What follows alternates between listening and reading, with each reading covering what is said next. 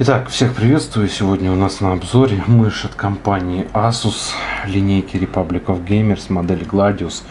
И она знаменательная, и я ее ждал, и много ее кто ждал. А почему она знаменательная, спросите вы? А в начале года прошла масса компьютерных выставок, где Asus феерили даже не тем, что они представили какую-то материнскую плату или иную видеокарту с каким-то дополнительным охлаждением, каким-то переработанным охлаждением, они впервые вообще на моей памяти феерили тем, что представляли мышь.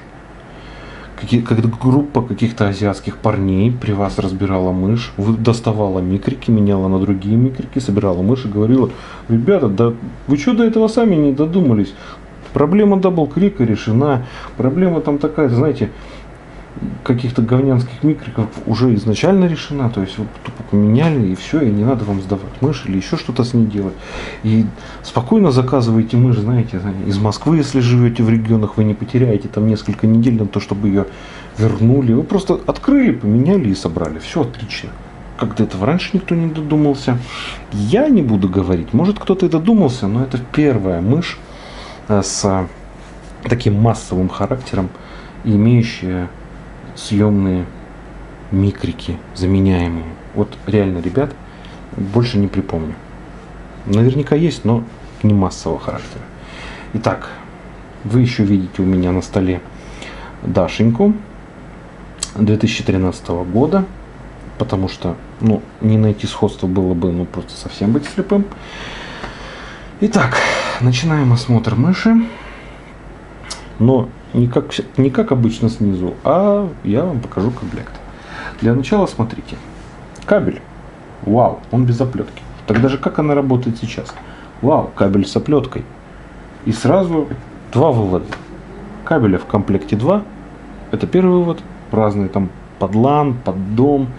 Или просто из-за того, что вы не любите оплетку или наоборот любите оплетку. И второй вывод. Кабели съемные. Их можно менять. Отлично. Ничего не скажешь.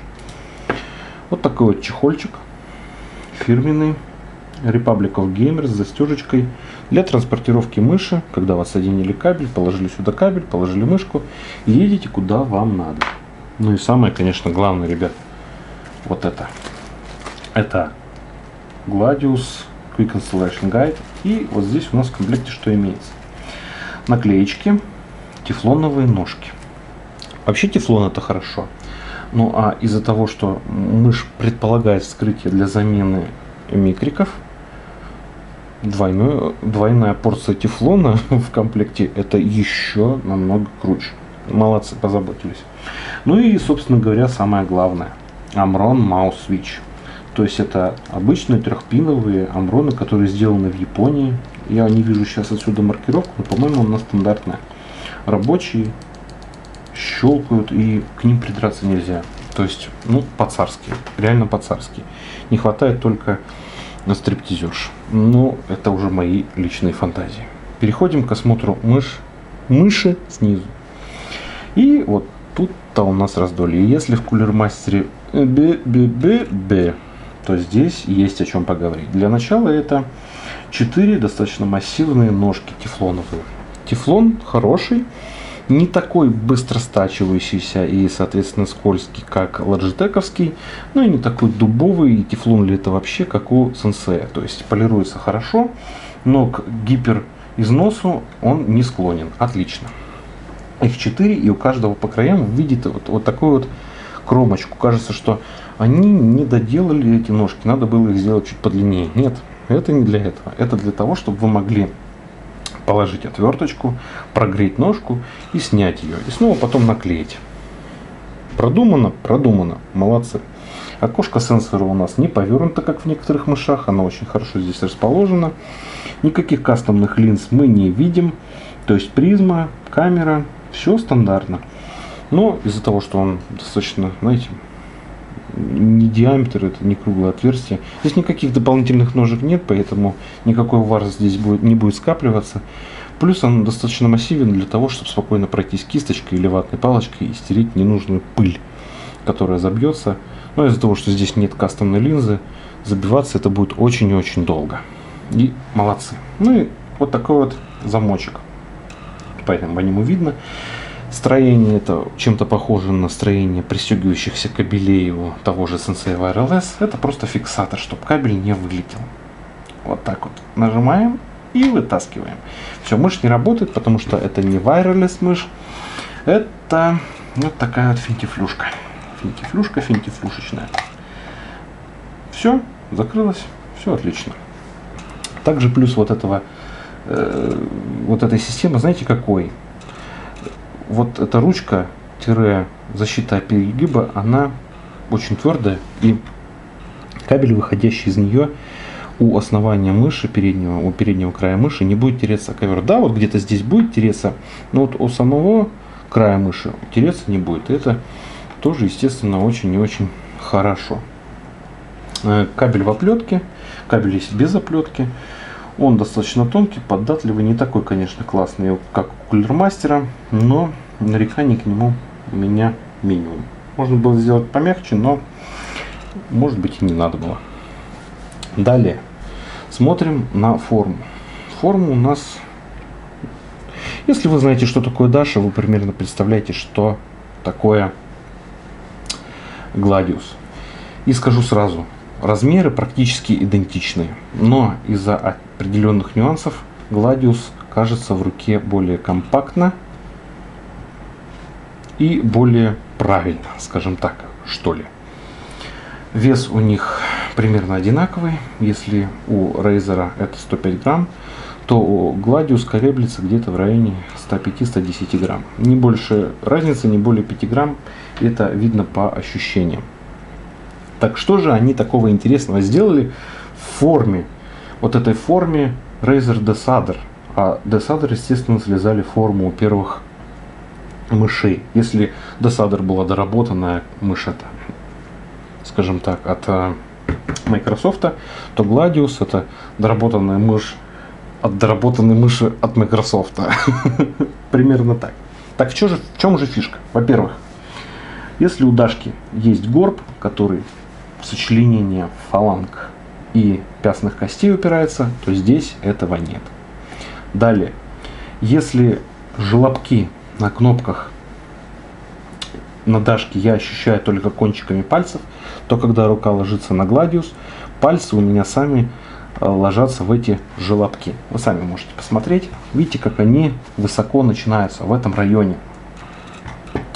У Даши такого нет. Желобки вот здесь вот находятся. Естественно, интуитивно мои пальцы ложатся всегда куда надо. Ну и самое главное. Если у Даши вот эта часть, где находится резинка, особенно вот ближе к переднему краю, она такая, знаете, широкая, то есть изгиб корпуса идет, но никаких дополнительных изгибов больше вы не ощущаете. То есть здесь вроде как идет изгиб корпуса, но, естественно, из-за того, что вот здесь наклеена резинка, кстати, хорошая, практически силиконовая, и вряд ли она подвержена такому износу, как у Райвела, но из-за того, что, знаете, такая фактурированная поверхность, вы не видите самого главного. Вот в этом районе происходит углубление. Она еще уже, чем досадр. Естественно, мой большой палец, вот как будто сделали под мою руку. Мой большой палец ложится именно в это углубление. Но это еще не все. Такое же углубление есть и здесь. Если вы посмотрите у досадера, здесь практически все ровное. А вот здесь же опять идет, идет, идет. И мы падаем в такую ямку. Сюда. Видите, по забитости грязью, да, скажем так. Здесь постоянно лежит мой палец. Здесь отлично ложится большой палец, а сюда ложится отлично мой безымянный палец, обеспечивая вот такой вот хват, практически идеальный, как для ладонного, так и для пальцевого хвата. Картину офигенного, офигенной доработки формы дополняет еще тот факт, что блок кнопок боковых они здесь, конечно, чуть получше в плане того, что хорошая разница, разграничитель между ними, но они смещены вперед. Да, они широкие, но смещены вперед. То есть при пальцевом ухвате мне постоянно надо было тянуться до передней боковой кнопки. Здесь блок клавиш смещен назад. И смотрите, передняя кнопка больше, чем, блин, задняя. Это же они меня как будто кулермастер взяли и меня и услышали. Это же просто феерично. А во-вторых, блок клавиш смещен назад, то есть при ладонном, при пальцевом, даже при когте, блин, эти кнопки находятся идеально. Но о кнопочках мы поговорим в другой раз. Но сразу хочу говориться, кнопки, чем мне нравятся больше десадеровских, хотя у них есть свои косяки, которые будут в отдельном видео сказано. Не видео, а вот в моей, моей рубрике, потому что марамушта. Я, если вы посмотрите обзор э, четырехлетней давности на Click Hunter, я уже говорил, мне нравятся выпирающие кнопки, которые можно нажимать, подняв палец кверху. Вот так вот. Хоп, нажал, хоп, нажал, хоп, нажал, хоп, нажал. Мне не нравится ощущать кнопки, которые надо строго перпендикулярно жать. Здесь все отлично, здесь об этом позаботились. Какие кнопочки еще у нас есть? Это колесико, которое бок, по бокам боковины не нажимается. И кнопка переключения DPI. Естественно, можно все это настроить. Но для этого есть дрова, о которых тоже будет сказано чуть позже. Вот они основные моменты отличия от десадера. И молодцы, доработали. Форма Даши, она мне не нравилась на самом деле. Превратилась ну, практически идеально. Без вопросов. Материалы. Про резиночки я вам уже рассказал. Они вряд ли сотрутся. Они больше похожи на силикон. Естественно, чуть более скользкие, чем у досадера. Но отлично сохраняют контакт. Не прикопаться. Пластик это не софт-тач покрытие, это даже не шершавый пластик, это у нас краска, которая покрывает прозрачный пластик. И здесь очень хорошо соблюден, соблюден баланс между скольжением и трением. То есть это не так скользко или не так, знаете, как вот так, вот, это, вот этот звук, да? Это мне надо постараться, чтобы вызвать его. Не такой, как у кулермастера. И скользит, и вроде и хорошее сцепление. В общем, мне нравится. Ну и плюс ко всему, вот этот стальной цвет, он практически на нем не видно отпечатков пальцев. То есть тоже не прикопаться. Лого, лого светится, колесико светится, больше никаких светящихся хреней на мышке нет. И еще главное отличие. Э, не монолитная верхняя панель, а вот имеющая такие, знаете, пластины для каждой кнопки. И вот это и сменные микрики есть ахиллесова пята. Ладно, смотрим видео о том, как нажимаются кнопки, из чего они состоят и как они вообще работают. Итак, рубрика «Потому что мы что слушаем.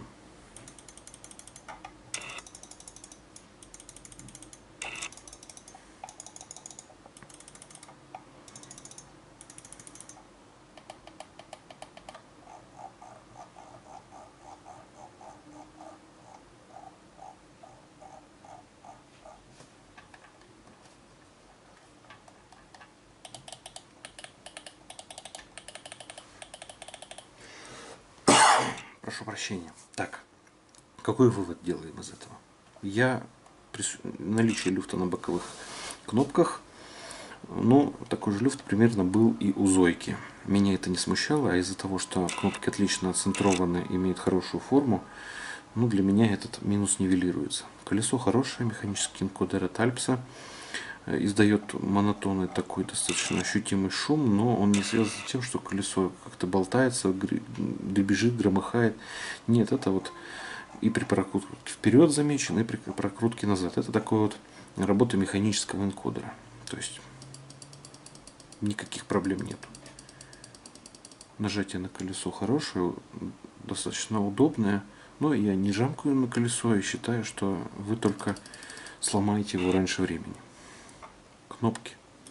Хороший приятный клик, очень быстро можно накликивать.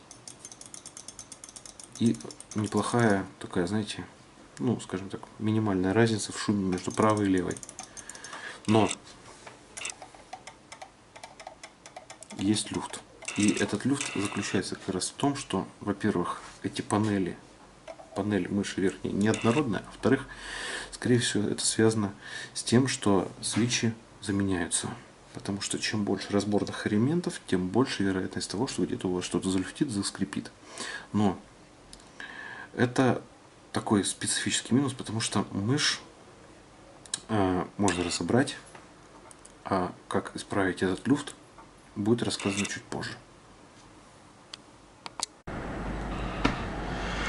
Вы все слышали?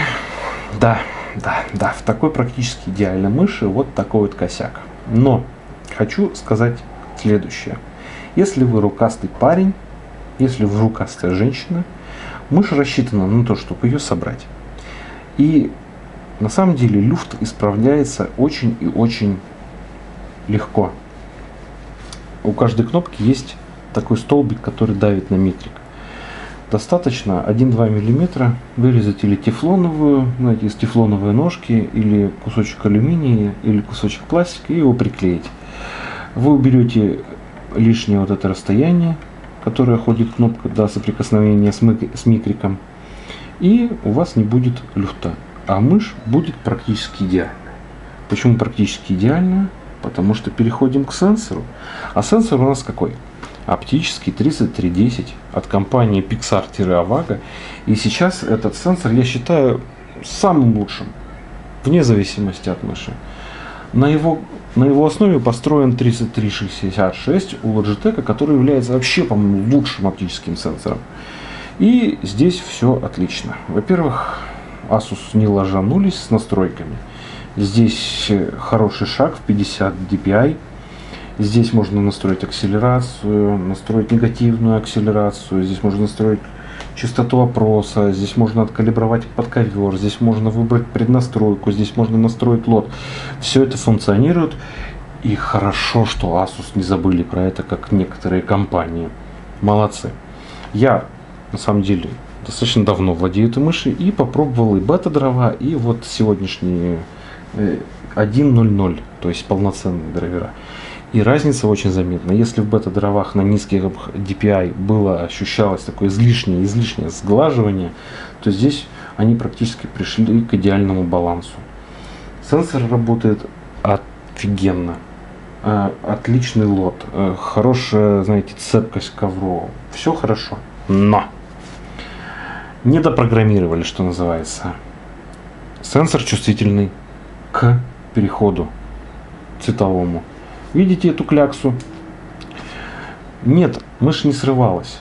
Но как будто при переходе от черного к зеленому у вас падает ровно в два раза DPI. Мышь начинает тащиться, пока ты ей не дернешь, не продолжишь более быстрое движение. Тогда она вроде как адаптируется к новому цвету и начинает обрабатывать все как надо. Но проблема с переходом на цветах присутствует. И эта проблема не хардварная, а софтварная. Я надеюсь, что компания Asus меня услышит, передаст это своим программерам, и буквально в следующей прошивке я уже не, ощущ... не ощутю вот такого, знаете, безобразия, которое не должно быть с этим сенсором и с этой мышью. И заключение. Я очень, очень и очень хочу поставить этой мыши значок одобрено но не могу. Почему? Если проблему с сенсором легко можно решить программерским способом, то как бы мне не хотелось, как бы мне не нравилась эта мышь, я не могу ее поставить. Э, значок одобрено из-за того, что ей нужна физическая доработка. Да, этот косяк решаемый.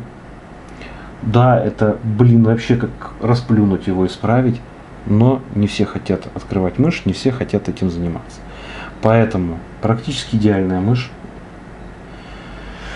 с хорошим сенсором, с хорошей начинкой, с хорошей кастомизацией. Все, все, все при ней. Asus меня удивили реально. Но не могу дать значок одобрено. Но знаете, эта мышь, если вы хотите ее доработать, будет, на мой взгляд, лучше Десадера. Всем спасибо за внимание. Пока.